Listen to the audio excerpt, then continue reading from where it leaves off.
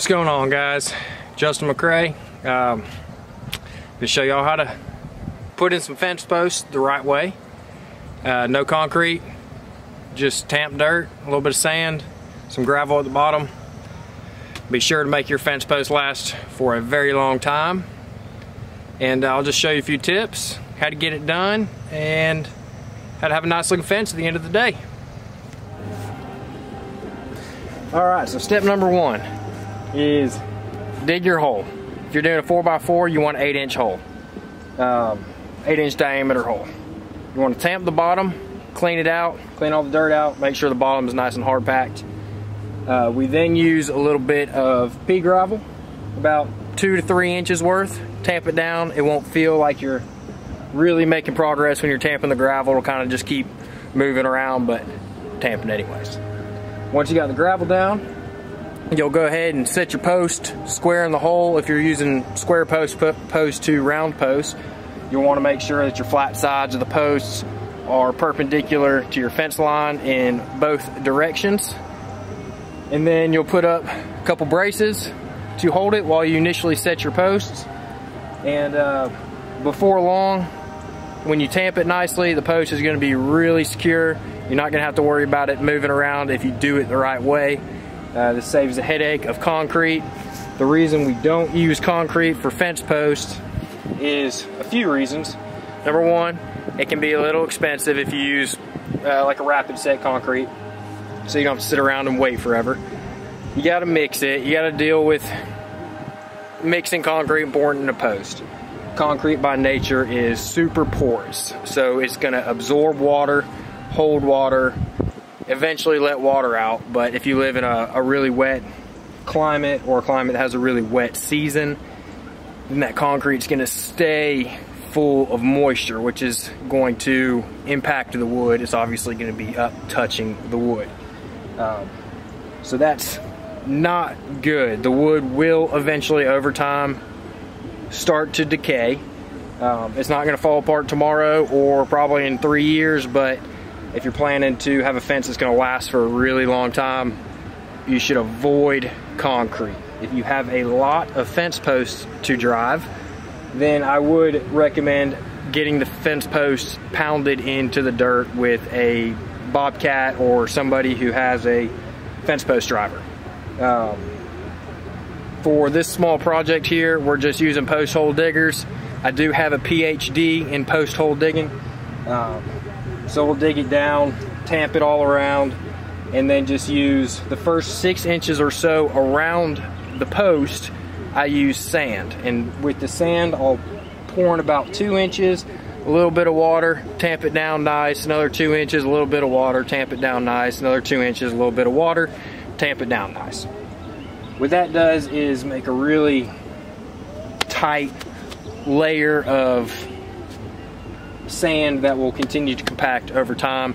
And when you keep packing the hole up with the rest of your clay or your dirt that you have in your area, it'll keep pressing that sand down. So once we have the sand in, we'll then use our dirt that we dig out of the hole, try to chop it up a little bit with a, a spade shovel before we put it back in. Tamp it in about six inch or so sections. You'll hear a nice good thud when you have it tamped good and once you hear a good thud, go ahead and tamp it some more. Um, I do find that if you tamp these properly, you usually end up using all of the dirt you take out of the hole, even though you're putting a post in the hole. So that's one good way to see if you got it tamped good enough. Another reason we use a little bit of sand, or usually we would come up short with the dirt. So it is a pretty uh, laborious process, and uh, but you do it once, you do it right, you never have to do it again. Um, so we'll go ahead and set this post, square it up, start the tamping process, and then I'll show you the one key tip that you must do for all of your corner posts if you want them to stay true, stay straight, and withstand the forces when you start stretching your fence. Um, a super key step, so make sure to stick around for that. All right, so to tamp the gravel, the dirt, I just got this piece of DOM tube. It's pretty heavy, quarter wall. inch and a half tube, so it's got some heft to it. And I went ahead and welded a little square 3 8 steel plate to the bottom so it leaves a nice flat surface to tamp. Easy to work around a 4x4 post and 8 inch hole.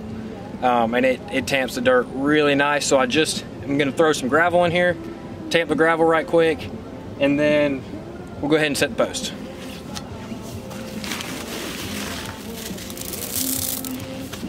I've already got gravel in the hole, but uh, so usually you put a little bit more than that in there, but there's already some gravel in.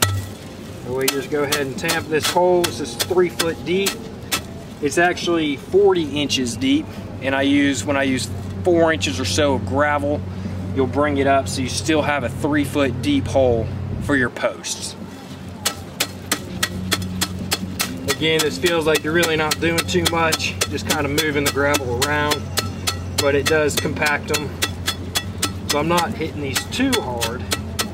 You just want to kind of try to flatten this bottom surface out, make it nice and level in there. And that's it. So that will keep the bottom of your post from sitting in water when uh, either the water comes up from the hole, you get a bunch of rain, your soil holds water, whatever the case may be, it helps the water drain out of the hole, keep it away from the post. All right, so we got our post set down here in the hole. Pretty much centered all the way around. Does not have to be perfect. Um, we got it leveled up. Here with two two by four braces. I tend to use angle iron with a few holes in them to support it opposed to wood stakes. They're way easier to drive. You don't have to worry about ruining the hole on that stake every time. Um, so if you just pop a hole in your angle iron, run it in your board. And another good tip for setting these posts and getting them square and level is if you preload your pole, your post, on the facing basically on the outside of the fence. So if you were to have it lean towards us right now, where the fence is going to be on the inside. Then whenever you go set your 2x4s, set your stakes, drag them out, go ahead and screw everything in. And you'll want to lodge your 2x4s down here in the grass a little bit. So then you would take your level, and to level it, you can essentially push the pole back the opposite way it was preloaded and that'll cause, you can see how I did it here on this stake, how the stake is leaning. And so there's enough tension on those stakes if you drive them far enough that when you push them to lean, they will stay lean and keep your pole level opposed to trying to fight leveling the pole perfectly, holding the level, screwing a 2x4, and then checking again. So I just screw everything in off level, leaning out of the fence, and then push it back in. And that helps uh, really speed the process up. And you can tweak it a little bit that way. Um, but again, one of the key components with doing a, a, square post fence is making sure your flat surface of your fence fence post is perpendicular with the run in both directions that you're going to be going. Now this is the second post we're setting today. Um, so that first post down at the end was 83 and 3 eighths off the shop building. When we set fence, not doing fine furniture, um, so we're not working with the 16ths of an inch. This post is a half inch closer to the building over the course of 30 feet. I'm completely happy with that. My tomatoes aren't gonna care. The deer won't jump the fence because of it. Um, so we're letting it ride, set it in there. And now we're gonna go ahead and put some sand in, tamp the sand with a little bit of water, tamp the sand with a little bit of water, then backfill it with the clay. And then uh, we'll show you that one key step I was talking about that's gonna keep this corner post from rocking ever, especially when you're pulling the fence tight.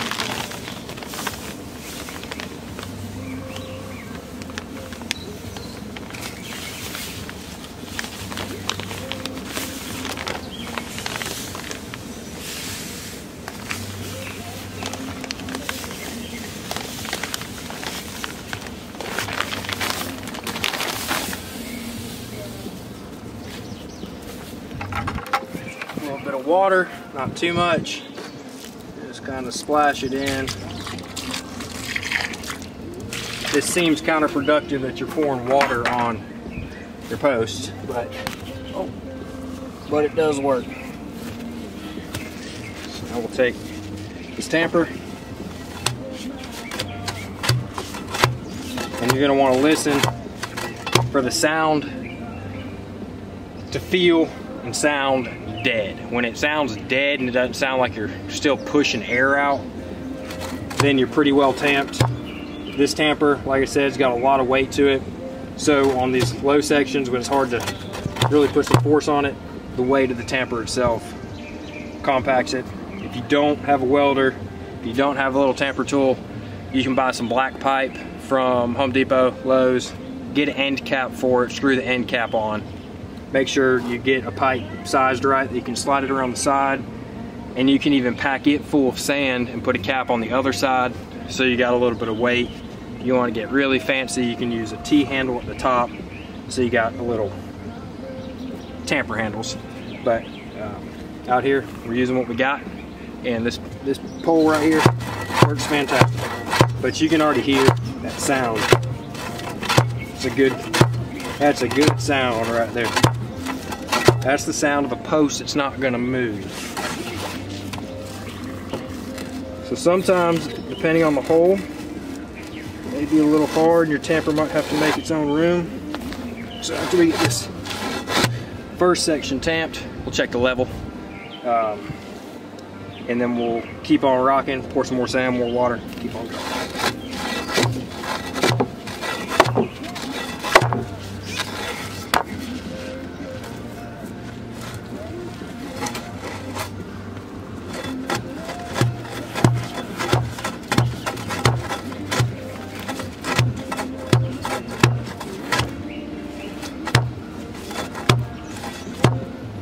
First six inches or so is the most important area to have tamped nice and tight.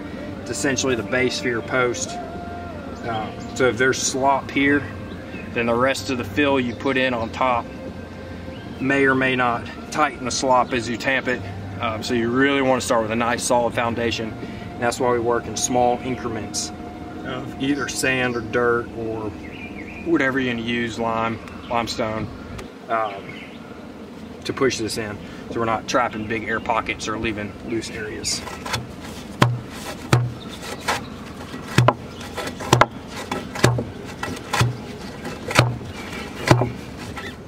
All right, so we got two tamped sections of sand in the bottom with some water. Uh, so now we're gonna move on to the dirt and then we'll tamp it about with this particular corner post, we're gonna wanna stop about eight inches from the top of the, the ground level of the soil. And that'll help us get our next super important tip, trick, must do, necessity for all fences installed properly. So we're gonna go ahead and fill the dirt in, mix it up a little bit with spade shovel, break up big clumps, tamp, tamp, tamp, tamp a little bit more, tamp a little bit more, fill a little more dirt in, tamp a little more, fill a little dirt, tamp a little more. And then the trip. So here we go.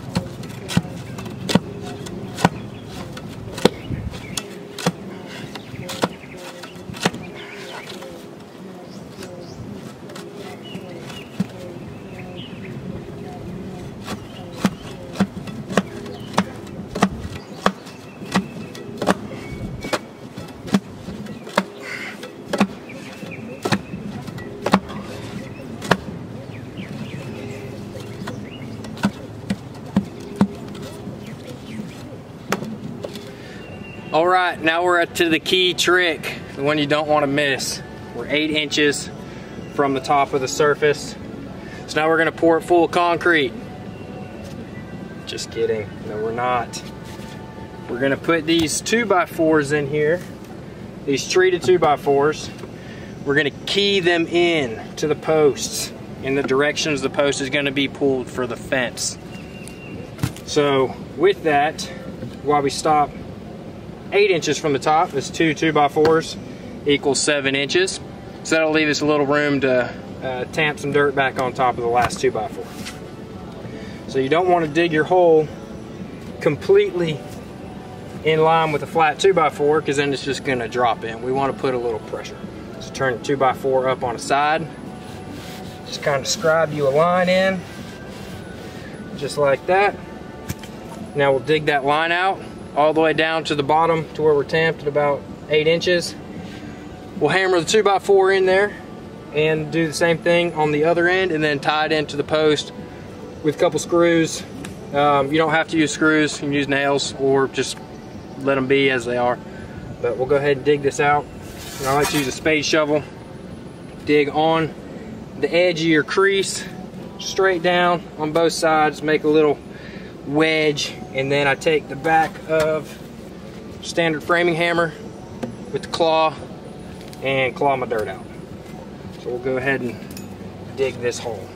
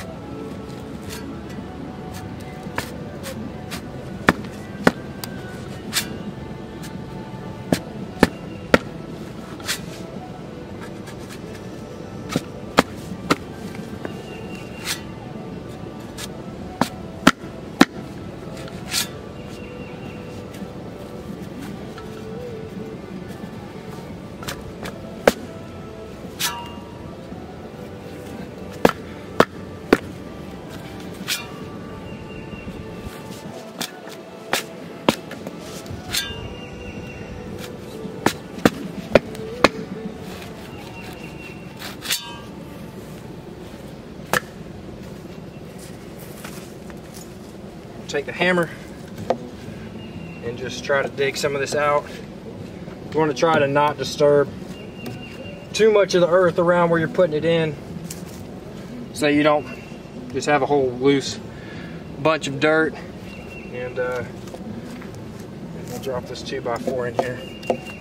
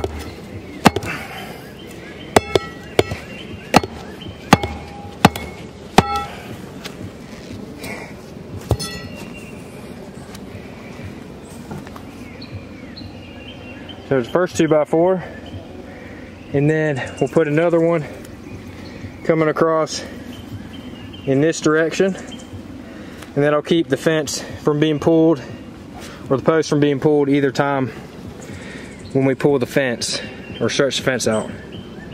So we'll go ahead and dig that next. So now we got both keys in.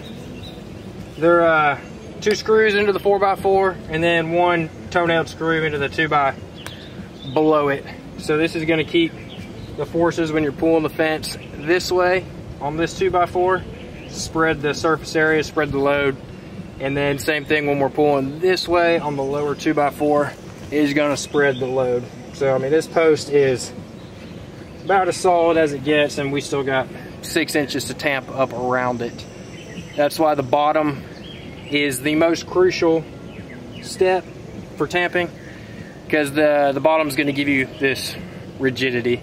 Uh, if the bottom's loose and the, the lower part of the post can kick out or wobble in the hole, it's not gonna do too well.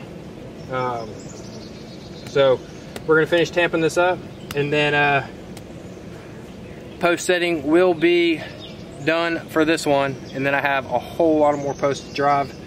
Um, we only have to do the, the key method on corner posts. You don't need to do them on the posts that are just between your corners unless you want to or if you're gonna you know divide your fence up into quarters or half and you're gonna be pulling on one of those center posts inward then you'd want to put a key on the inward side but that little tip right there is gonna make your corners last forever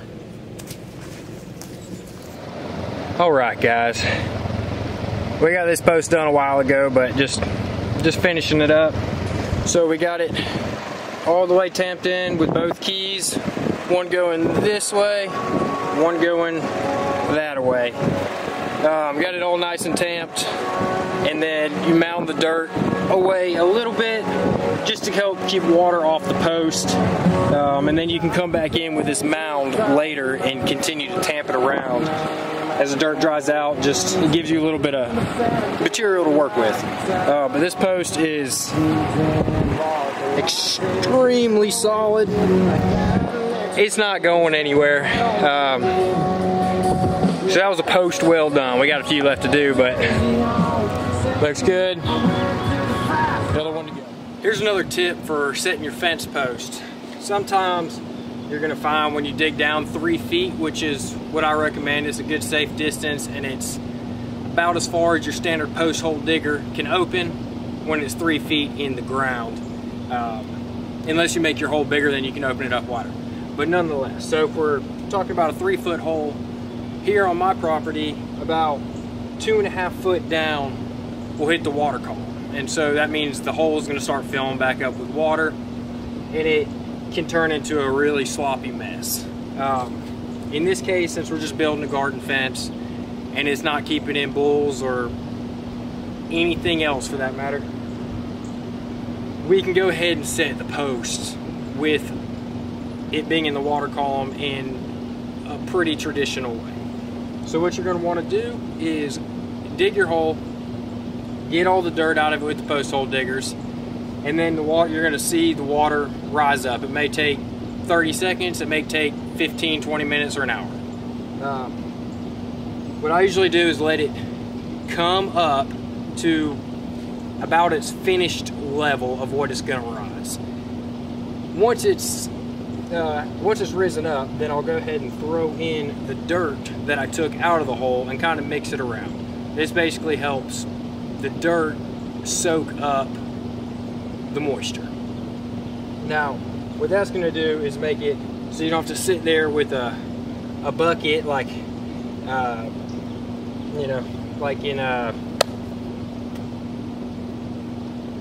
whatever that movie is where the puts the lotion on the skin. We're not going to have to drop the bucket down and pull the water out. So we'll let the, the mud soak up the dirt and they'll take the post hole diggers and remove the mud again. And that's gonna take out most of the water, gonna make a sloppy mess. And then the key here is to work really quick. So go ahead and throw your gravel in there when the hole is essentially empty. You're gonna put your gravel in. I like to go a little bit more gravel if we're in the water column. So six to eight inches of gravel. Drop your post, tamp your tamp your post down in the gravel. And then once your post is tamped in the gravel, before you set up any of your two bys to brace the piece, take some sand and pour sand all the way around the post and go up a good little ways. I'd say six inches of sand untamped. Now what that's gonna do is hold your post in and theoretically it's gonna dam your water column from coming back up and around the posts, which is gonna make it impossible to backfill properly. So you're gonna have your sand in, the untamped gravel bed, then you can go ahead and set your two by supports to get everything nice and leveled out. Once that's done, go ahead and tamp that first layer of sand, tamp it really, really, really good because you're gonna have water coming up. So you're not gonna need to pour water on your sand this time. You're gonna use the water in the hole. And you can tamp it really good. You'll hear it, you'll hear it mixing with the water. And what that's gonna do is keep the water from continuing to rise around your fence post so you can then progress on and continue to backfill the hole. When it's uh, a hole that is in the water column, I typically use almost all sand to backfill around the post. Um, the clay or whatever you might, whatever type of dirt you might have, usually it's used up from soaking the water up and throwing it out. Um, so you can save a little bit of the clay to fill the last four to six inches around after you go ahead and key your corner posts in and uh, that should get you a good solid post if you happen to encounter your groundwater. Um, so that's that's how we do it and uh, works out great. See you next time.